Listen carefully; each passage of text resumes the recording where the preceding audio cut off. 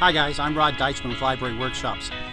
As you already know, May offers a spectacular lineup of exciting workshops covering everything from hand making pasta and sauces, drawing Celtic knot works, mastering the Apple Watch, and shooting and editing marketing videos all from your smartphone.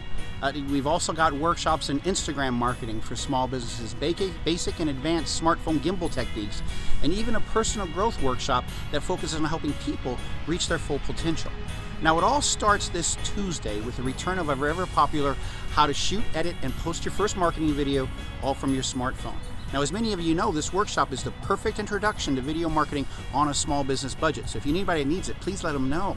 Now, in it, we go over all the tools and techniques that allow you to quickly expand your marketing reach through this really exploding avenue. Plus, it'll get you geared up for the hands on follow up video workshops coming at the end of this month and later this summer.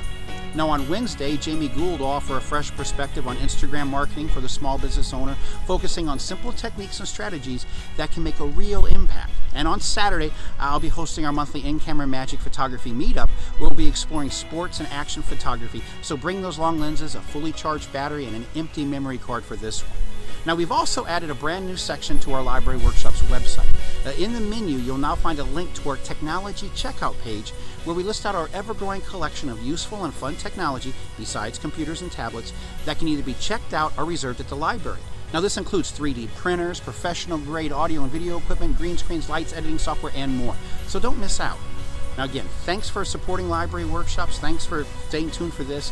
I'm Rod Deutschmann, and I'll see you at the library.